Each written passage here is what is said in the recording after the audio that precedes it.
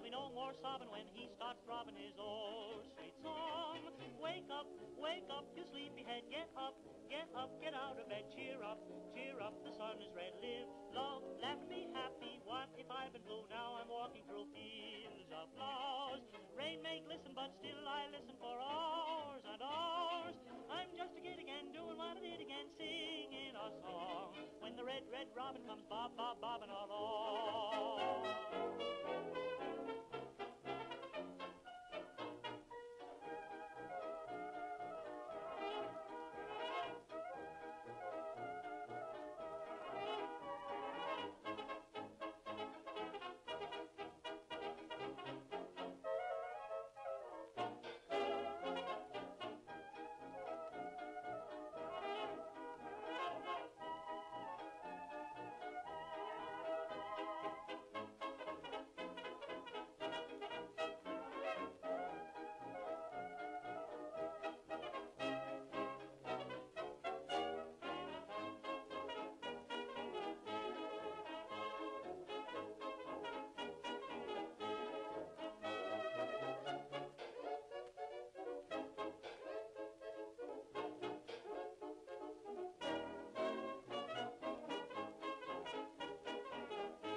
Les was the best grandpa in the world, except for being a son of a bitch.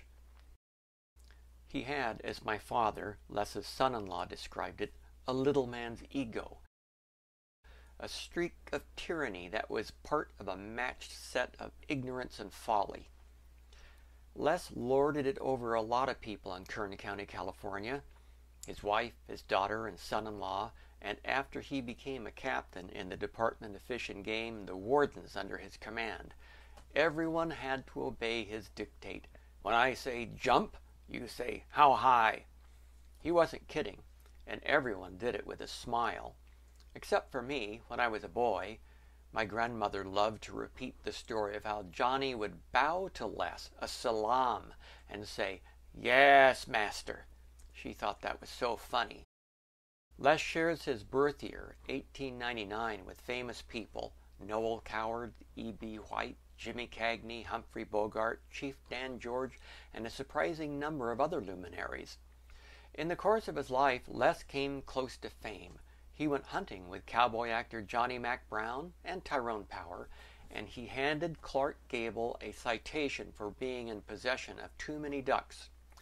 The Gable case made headlines and brought short lived notoriety to Warden Arnold.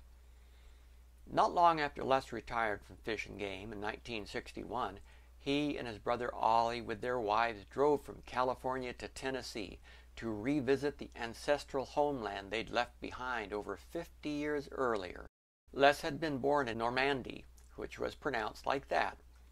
Melva, Les's wife, told me later that Les had talked all the way there about the big mountains around their farm. They weren't mountains, she said. They were just these little hills. The way she expressed that was similar to how she looked and sounded when she would repeat the promise that Les had made to her when they were young. Stick with me, baby, and you'll wear diamonds. When Les was an old man, he too would repeat that phrase often in a tone that suggested he had an idea of what it meant to be young and foolish. The Arnold farm must have been a poor one, despite or because of the ten children, with Les at the tag end of the line. Les had a couple of stories that he would repeat over the years. At Christmas, each of us children got a new pair of shoes, an orange from California, and a handful of raisins. The expression on his face showed how dear and cherished was this memory.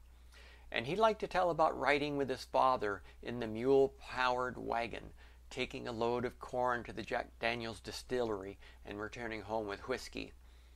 Another favorite story was that our family was related to a President of the United States, James K. Polk.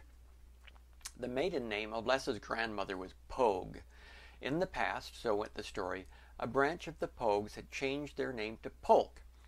Les had, in fact, a souvenir photo of the graveyard monument of James K.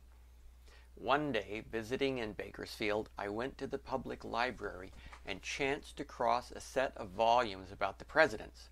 I opened a book and looked at the entry for James Polk. I found nothing at all about any relatives of James K. that had ever been named Pogue. But Pogue and Polk are close enough for simple folk to weave into a good story that adds luster to a dirt poor family.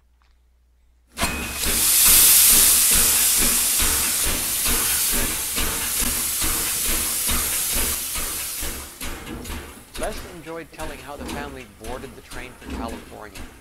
Les had been a young boy. Mary Jane, his mother, had packed food for the long trip, including a large ham. We kept going west, and the ham got smaller and smaller.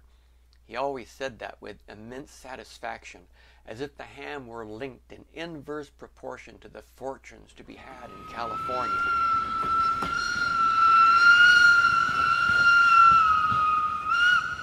The Arnolds landed in Hanford, a destination that had no explanation.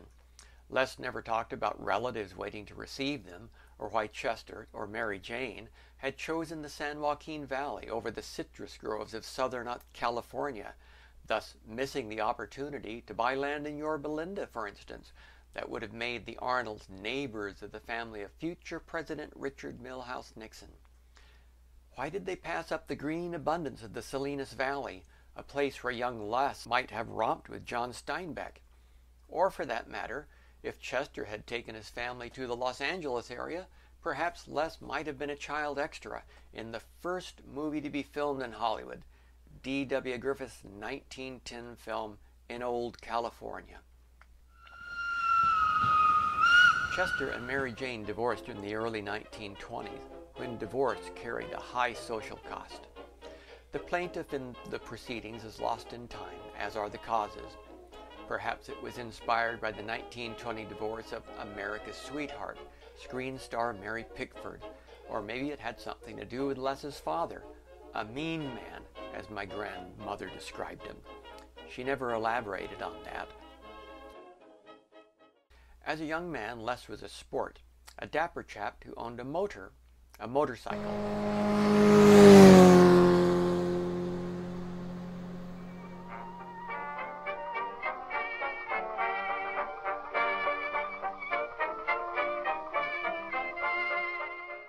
May have sold it by the time he began courting Melva Craighill. Thomas Edward Craighill, Melva's father, had been something short of a success. A ranch in San Luis Obispo didn't pan out. A cattle ranch in Corcoran also failed. He partnered in a furniture business that became successful enough to motivate the partner to swindle TE, take control of the venture, and wind up wealthy. Late in her life, Melva told of how T.E. had gone hunting for gold in Tonopah and died there. Melva's mother, Vianna Malnerva McLaughlin, was born in Santa Cruz. Her father had been a judge. Melva remembered traveling to Santa Cruz, some 200 miles distance, in a horse drawn wagon, which would have made for a long and memorable beginning of a vacation. During high school, Melva spent a year with the grandparents in that beautiful town. But some cursory research on my part failed to unearth any Judge McLaughlin in Santa Cruz City or County, and T.E.'s death in Tonopah, searching for treasure, may also be something less than fact. What I take as fact includes the story told to me more than once by Les. He was in a pool hall in Hanford he looked out the window that faced the sidewalk and saw a girl walking by. This was during the Spanish flu epidemic, when most people going out in public wore white gauze masks to cover nose and mouth, which would not prevent infection, but would give a sense of confidence to the young and healthy who were most at risk. The girl on the sidewalk wore such a mask. She became visible at the window just as Les was starting to break a rack for a new game of eight ball Drawn by forces beyond mortal comprehension, Les's eyes lifted from the white sphere of the cue ball to the expanse of spotless glass, the clear view, the movement of a girl in a midi blouse, and that same unnameable force took his body erect, pulled him to his full height of five foot six inches, and then transformed time, so that this girl with the dark hair stayed in frame for an eon, so that all of Les's buddies could turn away from the game and experience the full impact of that gorgeous girl, could hear Les speak as a prophet. That's the girl I'm going to marry.